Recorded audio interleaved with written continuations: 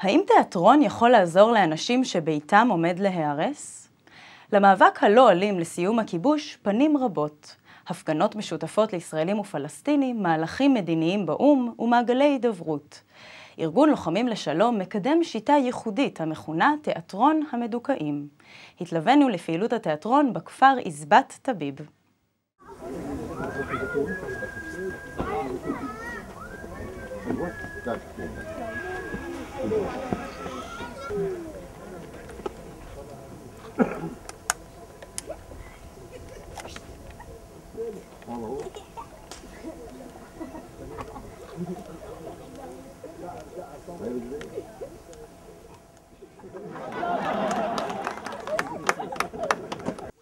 ב-2005 הקמנו את התנועה, וכעבור שנתיים, ב-2007, הקמנו את קבוצת תל אביב טול כרם, שהיא קבוצת תיאטרון אקטיביסטית, שבה בעצם הפעילים והפעילות של לוחמים לשלום אה, מביעים את התנגדותם באמצעים תיאטרוניים, לצד עבודה של דיאלוג ופיוס, שגם אותה אנחנו עושים באמצעים תיאטרוניים. In theater of the oppressed we don't talk a lot, we do.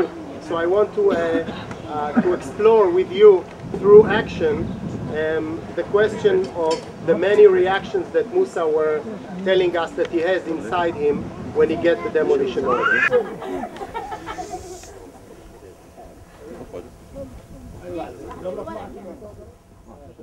الله وقف يا قلبي مقاومة התנגדות מדובר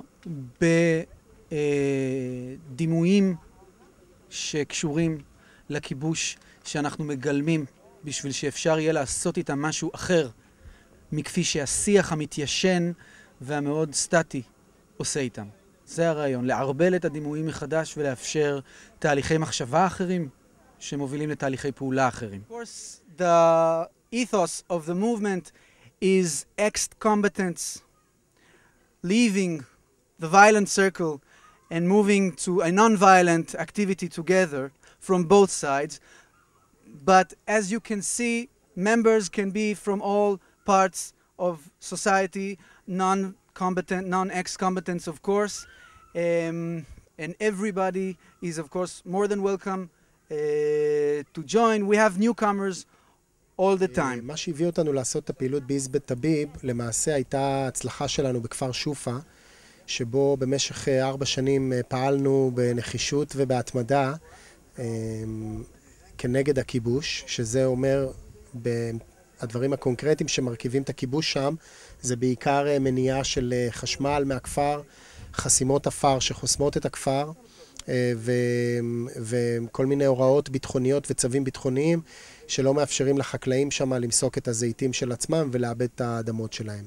פעלנו שם במשך ארבע שנים, הצגנו שם תיאטרון, גייסנו אנשים לתוך המעגל האקטיביסטי היצירתי שלנו, ובאמת במהלך השנים שעבדנו שם סופק חשמל לכפר וחסימות הוסרו. לא צריך להיות חיה פוליטית, וגם לא באמת צריך להיות לוחם לשעבר. זה אומנם ה-DNA, הגנים של התנועה מבוססים על לוחמים לשלום, אבל יש הרבה מאוד, הרבה מאוד, יותר מחצי מהתנועה זה בכלל נשים שלא היו לוחמות.